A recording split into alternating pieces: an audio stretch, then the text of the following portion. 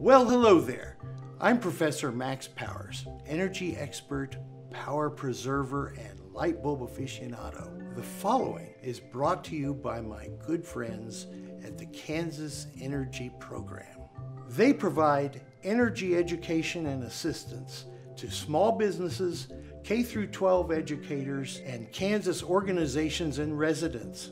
And it's all possible thanks to funding from the Kansas Corporation Commission through a U.S. Department of Energy grant. If you want to see more of their brilliant work, go to ProfessorMaxPowers.com and be sure to check out a few of my videos while you're there.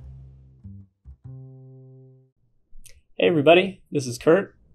And I'm Ryan. And we're back today with another activity that you can do at home, in the classroom, or anywhere with a fan and some spare supplies.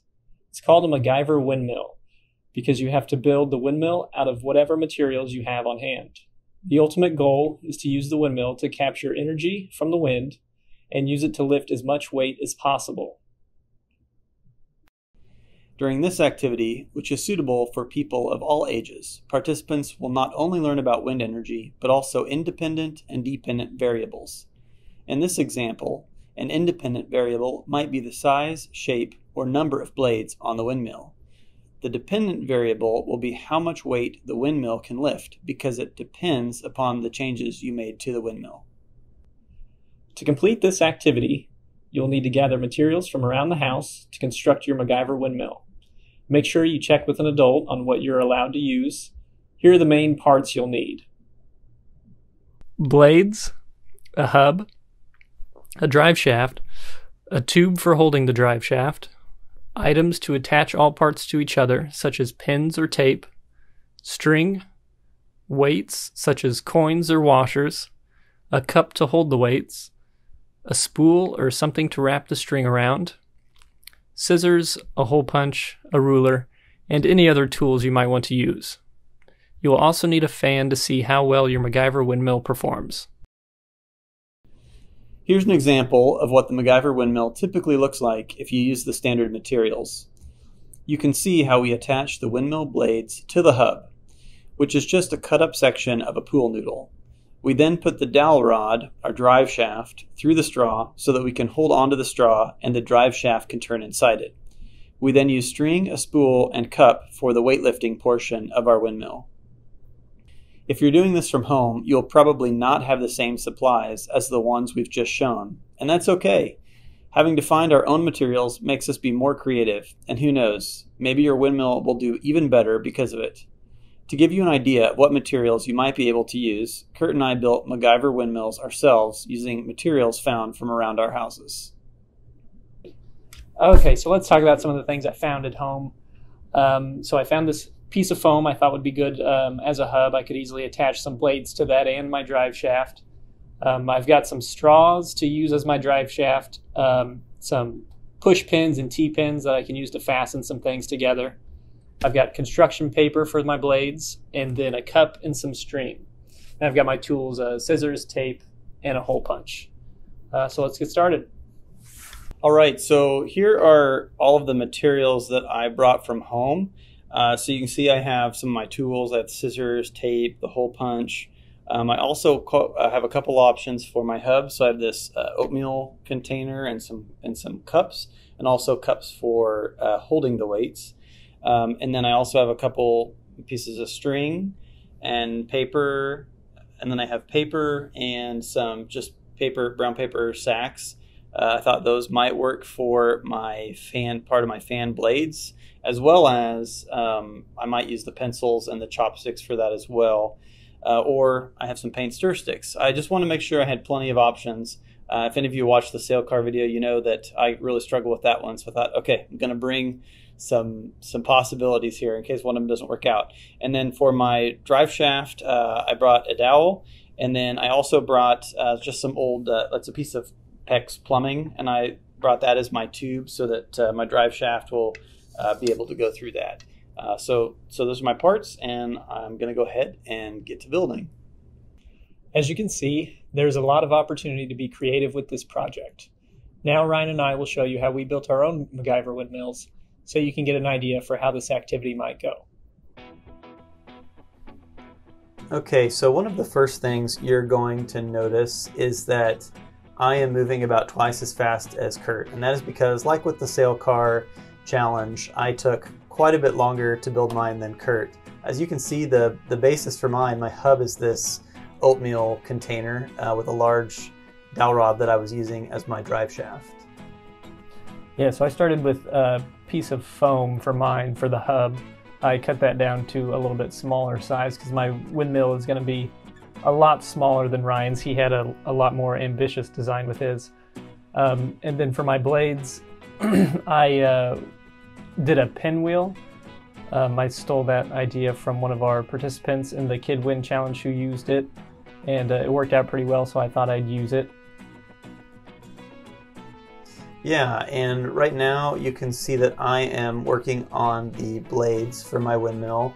I ended up using pencils to hold the to attach the blades to my hub, and then uh, so one of the other things that I really kind of had difficulties with is keeping the drive shaft centered in that oatmeal container. So initially I had shoved some of the brown paper sacks around that to kind of keep it centered but uh, as it turns out, that didn't work super well. So I ended up uh, a little bit later using chopsticks to kind of center it in here.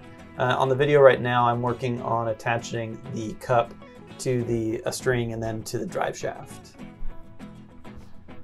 Yeah, so I'm finishing up my pinwheel here and then I'm gonna attach it to my hub with just a little thumbtack.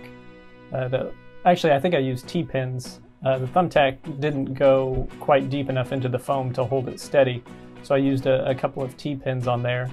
And then for my drive shaft, I had a plastic straw that wasn't very long, so uh, that's why I, I, cut down my hub a little bit. And then you can see here I'm trying to uh, fit the straw, a different straw, around the drive shaft um, so I can hold that and let the drive shaft spin freely. I also had to cut that down because my overall windmill was just pretty small. Yeah, and you can notice here, I didn't notice it while I was building the windmill, but my the blades aren't really well centered, and that, that will probably lead to some problems uh, when it comes to testing. I also used a lot of tape to try to keep everything really secure. And so right now, uh, you can see I'm punching holes in the backside of the uh, oatmeal carton, and that is to uh, put these chopsticks through so that I can kind of center. See, I made a grid, and I did that so that I could kind of center the tube and the drive shaft uh, in the middle of that oatmeal container. Yeah, and then I'm pretty close to done here. I uh, got my cup and string attached to the drive shaft, and you can see here it's working pretty well. Uh, so I had some high hopes for that. Alrighty, so here we're ready to do some testing. Um, I was starting out with 10 washers in my cup uh, to see how well it would do. One of the things that my windmill struggled with was the, the tube straw I was using around the drive shaft kept sliding up into the hub, or I guess the force of the wind pushed it back into it. And so it was having some trouble spinning when uh, that tube straw went into my hub. So I was having to shimmy it around a little bit to make sure it kept spinning and then um, you always kind of got to work to find the right uh, spot in the wind to make sure your windmill is catching the right amount of wind. And there I was trying 15 washers and it didn't quite do it as well, so I think I'm moving down to 12 here. Let's see how well it does. Yeah, that's where it was it was spinning but the straw was caught in the hub so the cup wasn't winding up. So you can see when I shake it around, it loosens it up and then that cup starts to wind up and it gets to the top.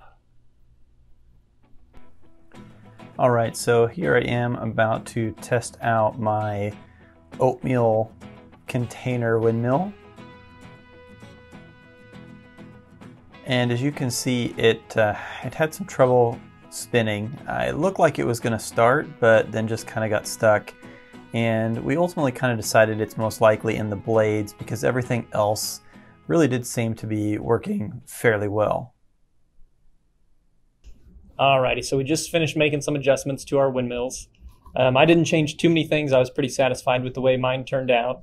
Um, I did add a little bit of string up here on the uh, drive shaft, right up here, so it would keep the my tube straw from riding into the hub. It was doing that earlier, and it was kind of slowing down um, my windmill from spinning, and then that kept my string from winding up and lifting up the washers. So I just cut a little bit of string and wrapped it around that drive shaft and then taped it on there. So hopefully that will keep the tube straw in place and uh, I'll get a few more washers lifted. All right. Well, I wasn't really happy with how mine turned out. It didn't really spin at all. And so we kind of went back to the drawing board, made a lot of changes to the windmill, primarily to the blades. Uh, Kurt helped me with this, and we probably spent at least an hour on this, if not more. And so we're not going to show you all of that. But uh, as I said, the blades were the main change, and you can see they are totally different from what they were before. Uh, the construction paper just really wasn't quite heavy enough. We tried adding actually more blades with construction paper.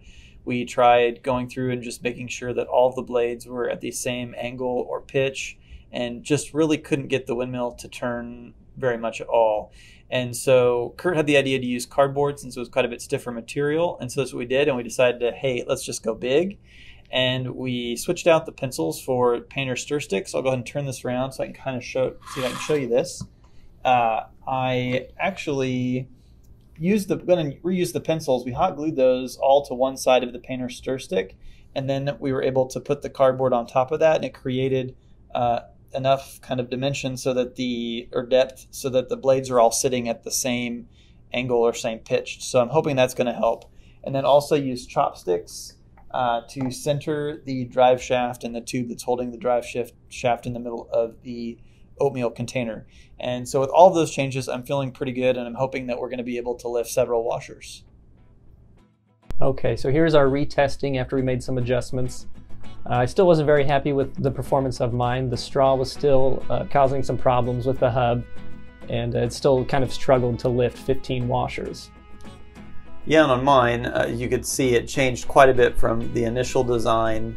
Uh, I successfully lifted 20 washers, and so I jumped to see if it would lift 50 washers, which is the most that we had on hand. The larger windmill, uh, which allowed it to capture more wind, and then also just making sure that all of them, uh, the blades were at the same pitch or angle, really helped. Yeah, I think if I went back and redid this, I would make my windmill overall a little bit bigger with some larger blades so I could capture more wind and generate a little more power to lift a few more washers. Yeah, and I think I would probably want to try changing some of the the issues that I had with the drive shaft a little bit, but overall I was I was really pleased with how it turned out. All right, now it's time for you to build your own MacGyver windmill. It does not need to look like the ones we've shown here. In fact, we would encourage you to try something entirely different. Ours were handheld, but maybe you want yours to stand on its own, or maybe you have a totally new way to design the blades. Either way, we'd love it if you tag us on Facebook or Twitter with any photos or videos of your MacGyver windmill. Make sure to check out the description below this video for more information.